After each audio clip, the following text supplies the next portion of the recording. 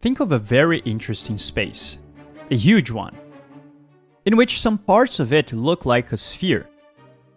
Other parts look like a saddle. They curve up in one direction and down in another. Some regions, though, are just perfectly flat. How can we measure these types of warps? How can we quantify this fundamental difference between each region? Gaussian curvature is the answer.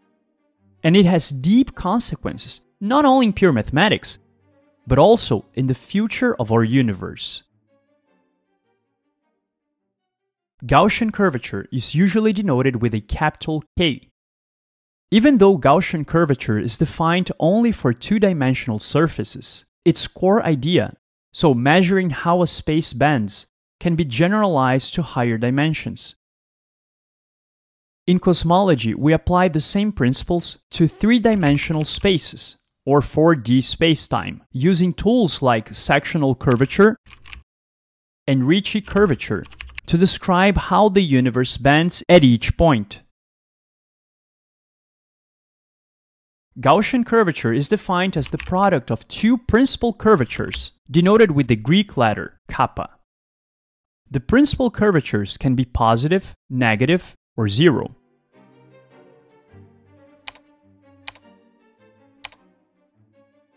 In order to understand what these principal curvatures are and how to compute them, imagine the following. This is Luca in a car. Now, he decides to turn to the left. He will naturally feel a force pulling him to the right, though. The acceleration felt by Luca is called centrifugal acceleration in physics. This is actually a fictitious acceleration. The real acceleration here is the one inwards, the one that keeps the car, Luca, and everything inside of it moving along the curved path. This is called centripetal acceleration and is calculated this way. Where v here stands for tangent velocity and r for the radius. But that's the point here. The radius of what? Well, it must refer to a circle, right? But who said that Luca is moving in a circular path? It might very well be a random curved trajectory. And the formula a equals v squared over r still holds. This is a very important concept in differential geometry, and it's called the osculating circle. An osculating circle is the circle that best matches how a curve bends at a point. It shares the same position, the same tangent, and the same curvature. The bigger its radius, the larger the bend. The smaller its radius, the tighter the bend. This connects to the formula v squared over r, which tells you how much acceleration is needed to stay on a curved path. Notice how the acceleration and the radius are inversely proportional to each other. So the bigger the radius, the less acceleration is needed. And vice versa.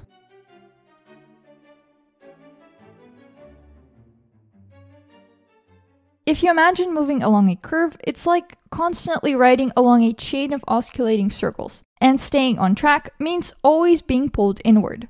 That pull is what we feel as a force. In physics, this shows up in cool ways, like in general relativity, where gravity isn't a force but just a consequence of objects following curves in spacetime. Those curves act like osculating hyperspheres, and the tighter the bend, the more things feel pulled inward just like in regular circular motion. If you're enjoying this video, don't forget to like it and to subscribe to the channel. Going back now to the principal curvatures kappa 1 and kappa 2 of the Gaussian curvature formula, let's connect them to the visual concept of osculating circles. You can cut the surface at any point with vertical planes that contain the normal vector to the surface at that point. Each slice creates a normal curve lining that plane. Each of these curves has an osculating circle that encodes the local curvature at that point.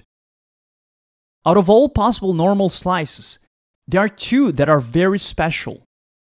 The first is the one that produces the normal curve that bends the most, which gives maximum curvature, and is called the principal curvature kappa 1. The second special kind of normal slice is the one that produces the normal curve that bends the least, which gives minimum curvature and is called the principal curvature kappa 2. These are real numbers. The directions in which they occur are called principal directions, and they can always be proven to be orthogonal. At any point on the surface, in the principal directions, the surface curve through that point, in other words, the intersection of the surface with a plane containing the normal vector and the principal direction, can be locally approximated by an osculating circle. In each principal direction, there is a plane curve lying on the surface. That curve has curvature equal to one of the principal curvatures, kappa 1, 2. And so, it has an osculating circle of radius 1 over the absolute value of kappa 1 or kappa 2. The osculating circles are the best fitting circles to the surface in the directions of principal curvature. Good. But how do we calculate these real numbers kappa 1 and kappa 2? We're going to show you the step-by-step algorithm of how to do it. And after that, you can think of any random surface and try it out on your own. For a more detailed version of this explanation, check out the PDF link in the description. Step 1. Parametrization. Define your surface as a function of two variables. So, a parametrization, in this case u and v.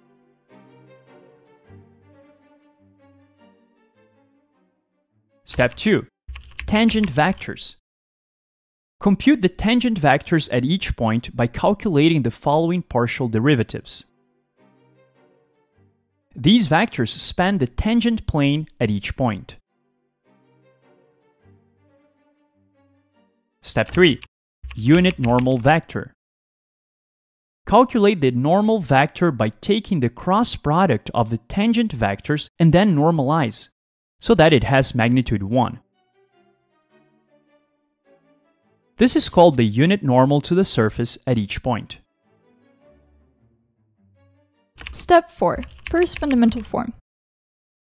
Compute the first fundamental form, denoted as a Roman 1. This is a matrix with entries being dot products of the tangent vectors we calculated in the previous step xu and xv, so the coordinate tangent vectors, are not always orthogonal. So in other words, it is possible that xu dot product with xv is different from zero. But when computing principal curvatures, these tangent vectors form a special orthogonal basis. This means that, in this special case, the tangent vectors will be zero, and therefore their dot product will be zero. Since we're not diving into the theory of differential forms here, we will just think of the first fundamental form as the matrix version of the inner product. It tells us how to compute lengths and angles. It's the metric tensor in the surface's coordinates, just as, for example, we can represent the metric on flat spacetime this way, and equivalently as a matrix in this way. If you want to learn more about this specific metric, check out this video where we built all of these concepts from scratch in a very intuitive and simple way. Step 5. Second fundamental form. Now we compute the second fundamental form, which is denoted as a Roman 2. This is a matrix with entries being dot products of the normal vector and the partial derivatives of the tangent vectors. Again, we will not get into the theory of differential forms here, but the second fundamental form is like second directional derivatives. Think of it as taking a vector, differentiating it twice, and then extracting the component in the direction you're interested in. In this case, this direction is given by the normal vector n. Step 6. Shape operator matrix. This is just the product of the inverse first fundamental form matrix with the second fundamental form matrix. It describes how the normal vector changes as you move along different directions on the surface. Step 7. Eigenvalues. It's the last one, guys, I promise. Compute the eigenvalues of the shape operator matrix. So if the matrix looks like that, we calculate its eigenvalues through the following formula. If you're curious to see how we got to this expression, check out the PDF link, as always. But before that, if you feel that you need to better understand what eigenvalues are, how to calculate them, and how to visually and intuitively interpret them, check out this video in the channel. We finally did it. These eigenvalues are the maximum and minimum principal curvatures kappa 1 and kappa 2.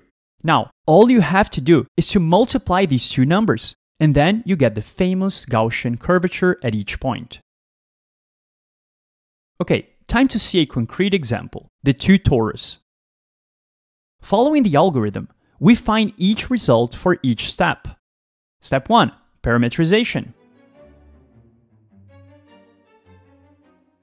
Step 2 Tangent vectors.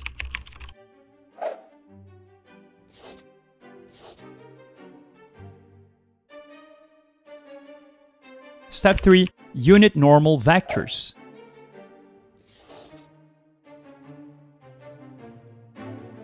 Step 4 The first fundamental form. Step 5 The second fundamental form. Step 6 The shape operator.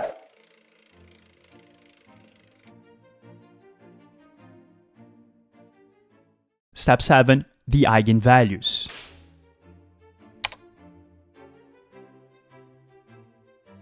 Once we found the eigenvalues of the shape operator, in other words, the principal curvatures kappa 1 and kappa 2, we can calculate the Gaussian curvature for each point of the two torus. So, for example, for points inside of the donut shape, the Gaussian curvature is negative. For points outside, it is positive. And the Gaussian curvature is zero, so the surface is considered flat only along these lines on top and on the bottom, dividing the outside from the inside regions.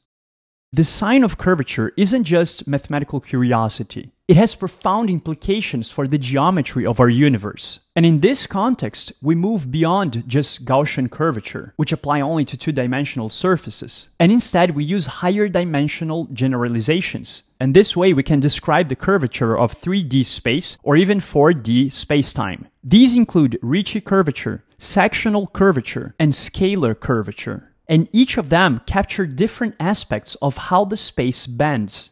In cosmology, the large scale shape of space itself could be spherical, so positive curvature, which would be closed, or hyperbolic, negative curvature, which is open, or even flat, zero curvature, and is also open. This is important because it will determine whether the universe will collapse, expand forever, or eventually find equilibrium. Current observations, like those from the cosmic microwave background, show us that the universe is very close to flat. But we still can't say that exactly because, as you can imagine, this is super difficult to measure. In any case, understanding curvature isn't just math for fun, it's about understanding the fate of the universe. Don't forget that you can send us your own personal research. Find more details in the description. If you like this video, I'm sure you're going to love this one. See you guys there.